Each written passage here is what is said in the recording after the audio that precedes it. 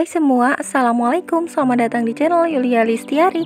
Di video kali ini aku akan bikin kue sus. Ini kue susnya aku pakai cetakan pie. Bikinnya gampang banget dan simpel banget Dan ini mudah dan ekonomis. Nah bagaimana cara membuatnya? Yuk simak videonya sampai selesai. Bagi teman-teman yang belum subscribe Jangan lupa klik tombol subscribe dan aktifkan notifikasi loncengnya Agar tidak ketinggalan video terbaru. Terima kasih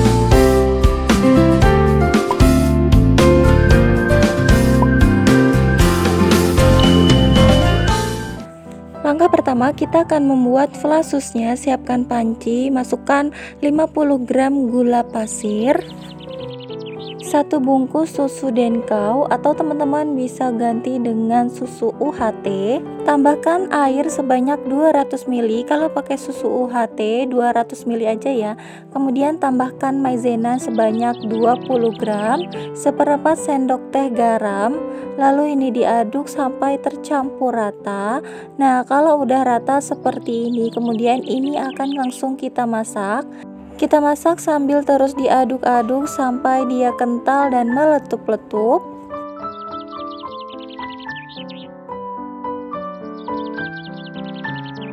Nah kalau udah kental dan meletup-letup seperti ini langsung matikan kompor Kemudian kita taruh di mangkuk seperti ini Dan ini akan kita diamkan ditutup dengan plastik ya Agar bagian permukaannya itu tidak kering kita tutup seperti ini aja dan disisihkan.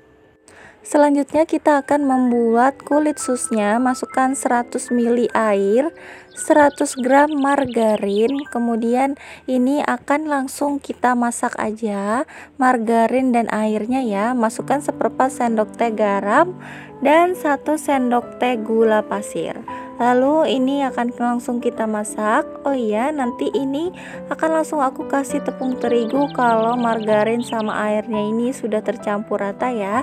Kita masak sambil terus diaduk-aduk dan kalau udah meleleh seperti ini masukkan tepung terigunya sebanyak 100 gram untuk memasukkan tepung terigunya ini, aku matikan kompornya terlebih dahulu dan diaduk-aduk seperti ini sampai tercampur rata.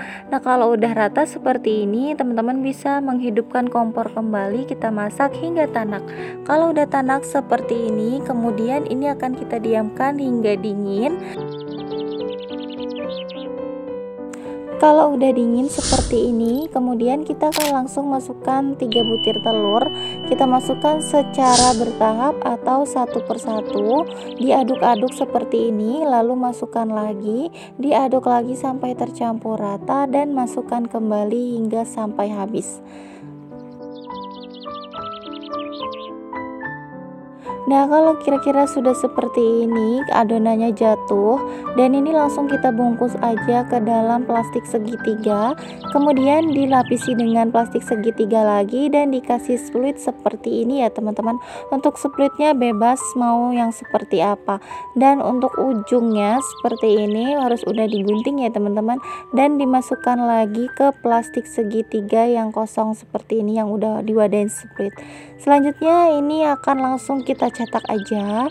Siapkan cetakan pie seperti ini. Ini ukurannya 5,5 cm untuk cetakan pie nya udah aku olesi dengan margarin tipis-tipis aja ya. Dan ini kita semprotkan aja seperti ini ya teman-teman.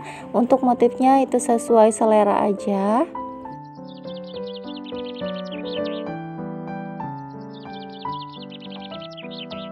Nah ini dia hasilnya cantik banget ya teman-teman. Ini cocok banget untuk isian snack box. Kita akan lakukan semuanya hingga selesai.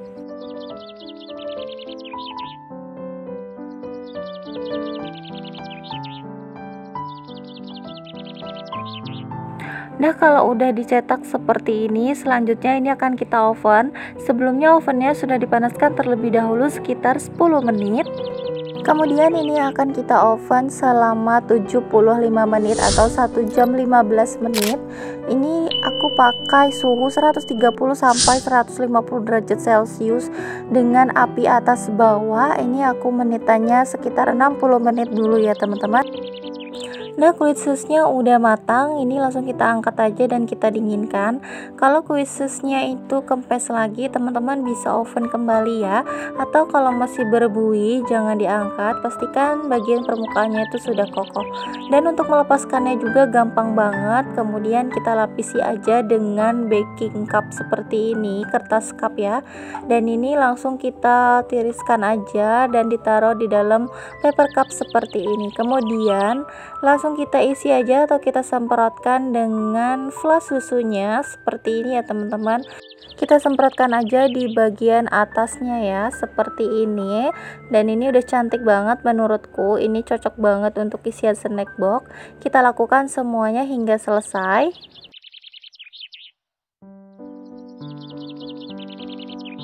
Nah ini dia hasilnya. Cantik banget ya teman-teman.